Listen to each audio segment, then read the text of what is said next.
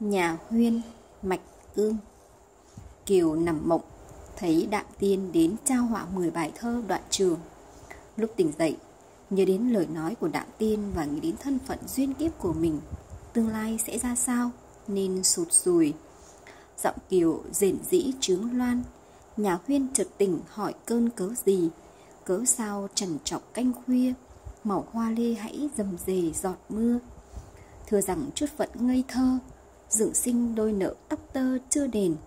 Buổi ngày chơi mạ đạp tiên, Nhấp đi thoát thấy ứng liền chiêm bao. Đoạn trường là số thế nào? Bại ra thế ấy, vịnh vào thế kia. Cứ trong mộng triệu mà suy, Phận còn thôi có ra gì mai sau. Dạy rằng mộng triệu cứ đâu, Bỗng không mua chút, Mua não, chút sầu nghĩ nao. Vâng lời khuyên giải thấp cao, Chưa xong điều nghĩ đã rào mạch tương.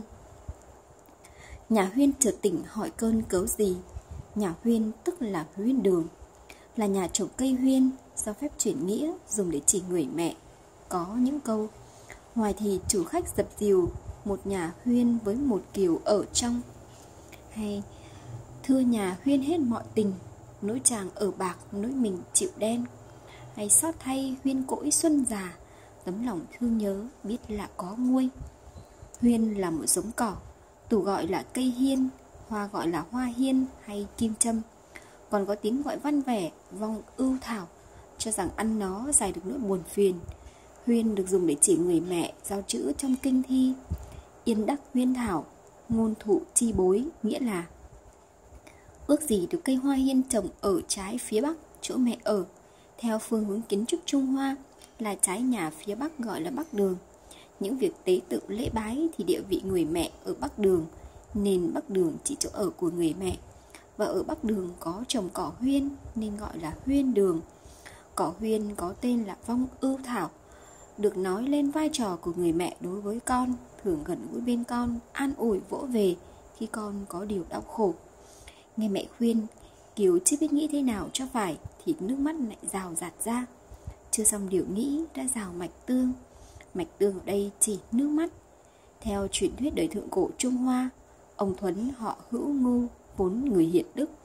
Tương truyền mẹ ông nằm mộng, Thấy cầu vồng xuất hiện, Màu sắc rực rỡ rồi tượng thai, Nhưng mẹ mất sớm. Cha là cổ tẩu có vợ khác, Sinh một con tên là tượng. Cha và mẹ.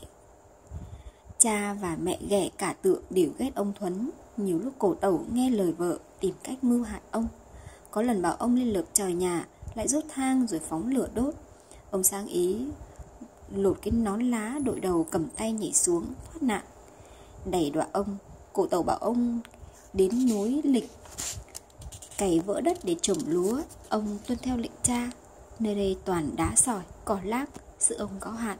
Nhưng lòng hiếu đạo của ông cảm động lòng trời Nên có voi ra cày giúp Chim từng bầy đáp xuống mổ bứt cả cỏ làm cho cổ tẩu không lấy cớ gì để làm tội ông.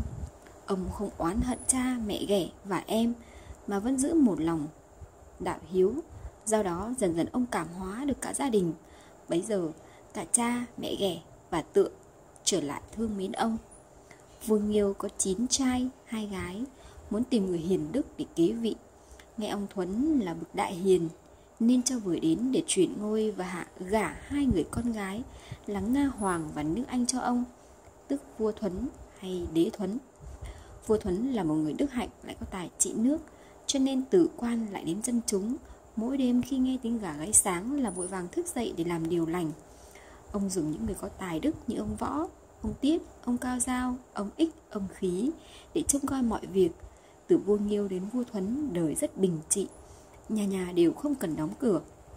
Không có trộm cướp, của đánh rơi ngoài đường không bị mất, trai gái đi đường có trật tự, Trẻ kính già, già mến trẻ Sự Trung Hoa gọi là thời đại Hoàng Kim.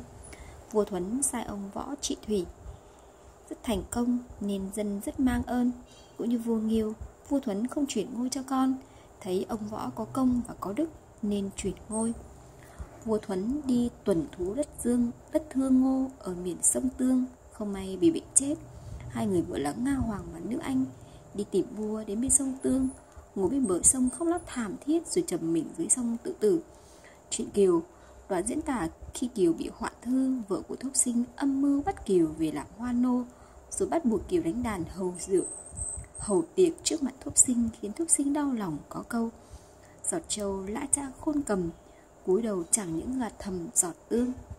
Trong tác phẩm Bích Câu Kỳ Ngụ của tác giả vô danh Đoạn diễn tả Tú Uyên tương tư dáng kiều cũng có câu Ở tai những tiếng đoạn trường Lửa tình dễ nguội sông tương khôn hàn. Mạch tương, sông tương hay giọt tương Đều chỉ nước mắt cũng như giọt trâu Giọt trâu lã chã khôn cầm.